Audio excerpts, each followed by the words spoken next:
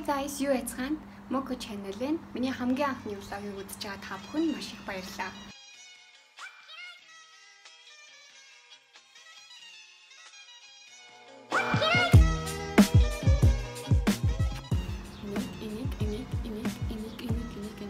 Бүгдийг туршиж үзсэн.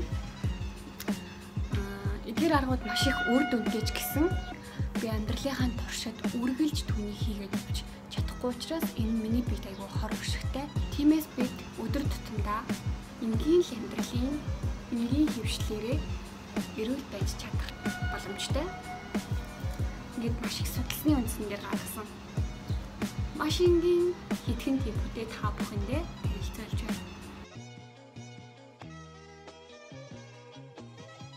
Та өглөө болгон үлийн илгэн дээр 2-оос дээш аяг ус ууж хөвших юм бол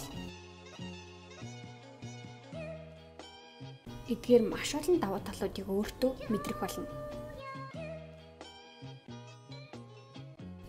Тийм ээ, амттан бол амьдралын утга учир шиг санагддаг байсан үе саяхан л байл. Харин одоо энгийн зүйл юм шиг тоохоо байсан байна. Мэдээж амттанг болиулахын тулд өөрийгөө заавал шийдэх хэрэгтэй болсон л доо. Та ч гэсэн тусаад үзээрэй. Дараагийн нэг чухал зүйл бол удаан идэх. Хэрвээ та хурдан иддэг бол яг одоо үнээрээ болиулаарай.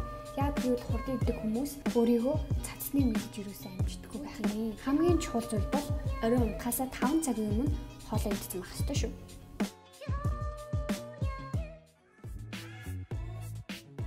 Дасгал хөдөлгөөний тухай ойлголтыг өвдөөс амарх.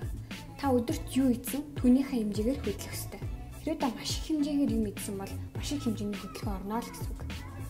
Хөдөлгөөний хизээч илүүднэ гэж байдгүй. Та ядчил эрүүл байна. Сайн унтаж амрахгүй байх юм бол батарейн дууссан утастай яг адилхан.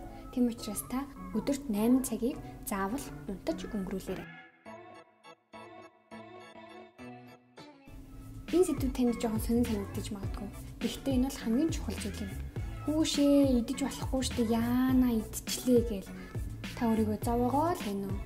Гэтэ санаа зовох зүйлгүй. Бидний амьдралд өчнөө л олон таамаглах үзүүлэлт болдог шүү дээ. Та их хэмжээний жинтэй байжгаад буцаад хурж байгаа бол заавал корсет юм уу одоо бүс заавал зүгээрээ яагаад гэвэл эмэгтэй хүнд бол тайл маш чухал. Монгол эмэгтэйчүүд маань бүгдээрээ бүс зүгээд явдаг байсан. Та юу санаж байгаах. Бүсээ зөв цагаар зүүх юм бол таны одоо унжсан гидсий чинь хагшаан тэгээ дээрэс нь тайлнаас чинь одоо багасгана. Тэгээд бүрийг хамгаалах давуу талуудтай шүү. Хэрэг корсетний талаар тусгаалan асуухыг хүсэх юм бол доор комент үлдээгээрэй. Хэрвээ миний бичлэг таалагдсан бол subscribe хийгээд хонхон дээр дараарай. Танд цаг ардлгүй мэдээлэл болно.